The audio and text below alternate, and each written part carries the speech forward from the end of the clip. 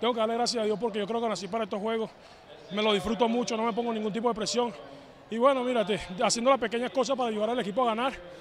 Este, nada, gracias a todo el equipo por, por apoyarme de que llegue aquí, por ser abierto conmigo, por tratarme como su hermano y bueno, este, nada, que una, hay que hacerlo una vez más. Que hay que seguir jugando la misma pelota que estamos jugando. Nosotros somos un equipo que no nos rendimos, ellos también. Los indios de Cleveland somos equipos, clasificaron primero que nosotros, jugaron mejor pelota contra Toronto, pero bueno, vamos a ver qué pasa en la, serie mundial. Yo estoy seguro y confío en mi equipo de que va a ser una serie muy, muy, muy fuerte.